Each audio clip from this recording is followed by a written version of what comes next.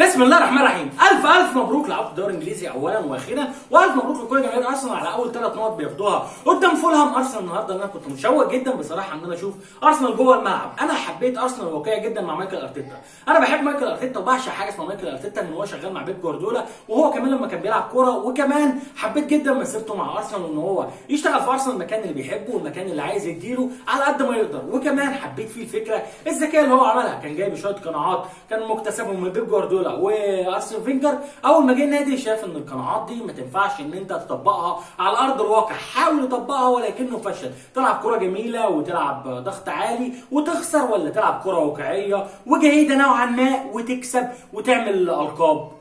هو رمى فكرة إن أنا ألعب كورة جميلة وتيكي تاكا وألعب ضغط عالي والكلام ده قال لك هحاول ألعب الواقعية علشان خاطر ما يتمش اقالتي بسرعة وده فعلا اللي قرر يعمله. وكمان ساعدته إصابة بيرند لينو اللي هرجع أتكلم فيها 7000 مرة أقول لك لولا إصابة بيرند لينو الراجل ما كانش يفكر يغير الخطة وكان هيفضل مستمر بال 4 4 2 لما بيرند لينو اتصاب. ففكرة إن الحارس اللي بيلعب في منطقة الجزاء برجله والحارس اللي بيطلع يغطي المساكين ما بقتش متاحة فمارتينيز كان خيار ليك. فكنت مضطر إن أنت تغطيه وتلعب ب 5 3 2 أو 5 2 3 أو وأنت بتقلب الطريقة تلعبها. ل 4 5 4 1 علشان خاطر الهجوم بتاع الفرقة المنافسه ما يروحش على مارتينيز. حارس المرمى بتاعك فخوف ارتيتا من إن هو يجي عليها هجمات خلى الفرقة تكون قوية نوعا ما دفاعيا وتعرف تقف كويس قوي جوه الملعب. والطريقة فجأة الفرقة بدأت تطبق عليها وفجأة الفرقة بقت بتجيد جدا إن تلعب على المرتدات. فكنت متشوق إن أنا أتفرج على أرسنال ده قدام فرقة النهارده زي فولهام. فولهام النهارده نازل بيلعب عليك ضغط عالي بس ضغط عالي أرسنال ما بيغلطش وهو بيبدأ الكورة من تحت.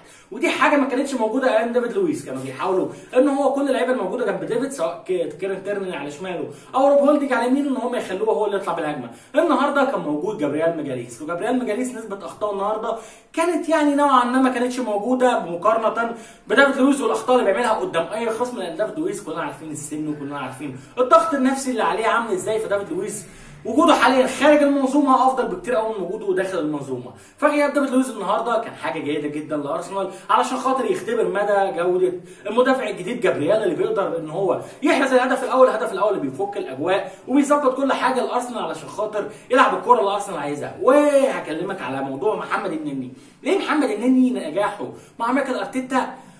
أكتر بكتير قوي من نجاحه مع أي مدرب. مبدئيا انني راجع من تركيا عنده شوية ثقة عنده شوية مرونة نوعا ما إن هو لو لعب عادي. لو ما لعبش عادي جدا ممكن يخرج عكس النني اللي كان عنده. لا مبالغة غير طبيعية يلعب أو ما يلعبش. انني راجع عايز ألعب كورة. ولما فكر إن هو عايز ألعب كورة مع مدرب مش طالب كتير قوي من اللعيب اللي بيلعب في نص الملعب غير إن هو ما يغلطش الكورة معاه وطول ما أنت مضغوط عليك ضغط عالي من الفرق المنافسة تحاول أنت تخرج الكورة صح.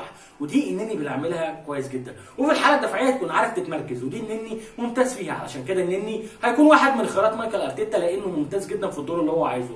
ممكن تلاقي تغييرات ما بين تشاكا وما بين داني سيبايوس آه لأن أنا عايز أقول لك إن النني بيكون الارتكاز اللي معاهم في نص الملعب وداني سيبايوس أو تشاكا هو اللي هيبني كرة لقدام وهو اللي هيطير الهافات سواء هيطير أوباميانج ناحية الشمال أو هيطير ويليان أو هيطير بيبي ناحية اليمين. فعايز أقول لك إن محمد النني مستمر معانا فترة كده في أرسنال. أنا عارف إن أنت الكلام على محمد النني بيتعبك وبيعصبك مش عارف ليه نوعا ما بس شايف إن في موضوع حاجات كتير قوي. دخل موضوع محمد النني بس مش هنقعد نركز عليها لأن الموضوع النهارده كان أرسنال. أرسنال ومدى الجودة اللي كانت موجودة في الشوط الأول كانت جودة ممتازة جدا وكانت جودة جيدة جدا. يكفي إن أرسنال ما راحش عليه غير تصويبتين بس على المرمى من جانب فولهام. فولهام اللي ما كانش قادر إن هو يخلق فرص مع جلوس متروفيتش على الدكة لأن إن الفرقة بتعاني وكالعادة ما كانوا بيعانوا في الدور في دوري الدرجة الثانية وبعد وجود متروفيتش برضه بيعانوا في الدرجة الأولى بعد وجود متروفيتش. فالفرقة كان عندها عقم هجومي هم بس كانوا بيحاولوا يضغطوا ضغط عالي على أرسنال عشان خاطر أرسنال يغلط. أرسنال ما كانش يغلط كان الفرقه تبان إن هي فرقة ودودة وفرقة زي الفل في الملعب ممكن تكسبها وممكن تعمل كمان score.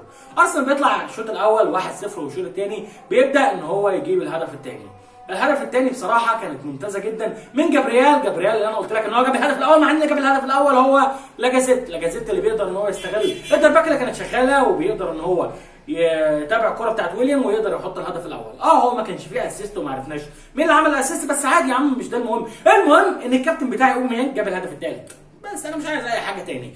الهدف الثاني كان ممتاز جدا من ويليان مع عرضيه ممتازة لجابريال اللي طبعا مدافع بيزيد في كرة عالية. بيقدر انه يجيب الهدف الثاني والمباراه بتموت كلينيكية لحد ما بيجي أوباميانج ويجي الأرض طول العبقرية بتاعته وهاتها من السوكة والماتش خلصان 3-0 وغير بقى عن أرتيتا ونزل بيبي مكان ويليان شوية ونريح ونعمل كل اللي إحنا عايزينه جوه الملعب. المباراة بقت سهلة وبقت مفتوحة وبقى جيم مثالي جدا لأرسنال. خصوصا إن أرسنال برضه الشوط الثاني كان ممتاز جدا. دفاعيا فأرسنال عمل جيم مثالي أخيرا. حاجة من أحلامنا إن إحنا كنا نشوف إن أرسنال في الماتشات الضعيفة ما بيلبسش أهداف. والنهاردة الحمد لله حصلت وأرسنال ما لبسش أهداف.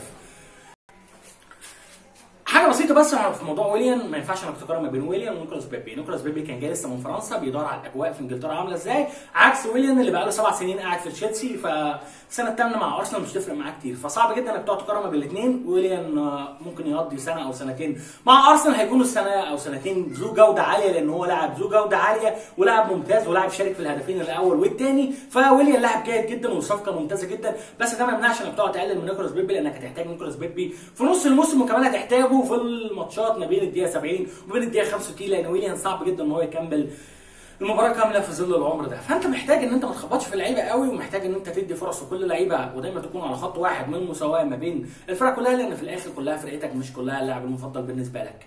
طولت عليك صح؟ مش أحسن حاجة أنا عملت like. ألف مبروك على الثلاث نقط ألف مبروك على البدايه الجيدة وأنا فرحان إن أرسنال عمل جيم مثالي أخيرا.